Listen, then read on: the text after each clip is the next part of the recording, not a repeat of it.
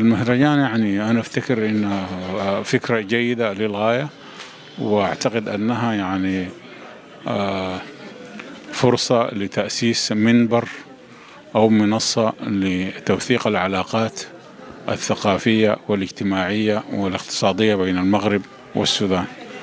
وأتمنى أن يستمر هذا التقليد ويتجدد كل سنة وأن لا نكتفي بالمناشط الحالية فقط. العلاقات بين المغرب والسودان هي علاقات تاريخية قديمة موغلة في القدم والتأثير المغربي على السودان يعني قوي وبالغ الأثر ولكنه غير مذكور في في الأبحاث أو في الدراسات.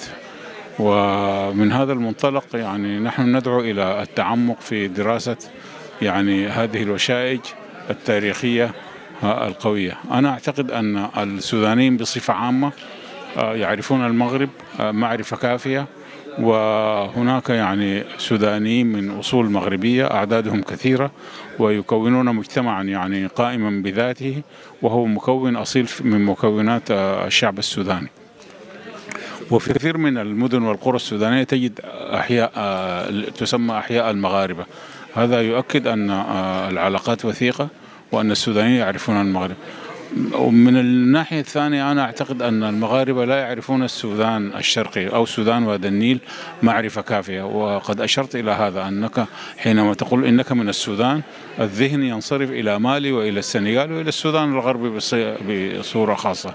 بينما الوشائج التي تربط المغاربة بالسودان الشرقي المعرب المسلم قوية للغاية. وقد أشرت إلى هذه الجوانب التي تربط بين السودان والمغرب على مستوى المذهب المالكي وعلى مستوى التصوف الجنيدي وعلى مستوى العقيدة الأشعرية وعلى مستوى اللهجة أيضا والمؤثرات الثقافية واللغوية المغربية على السودان.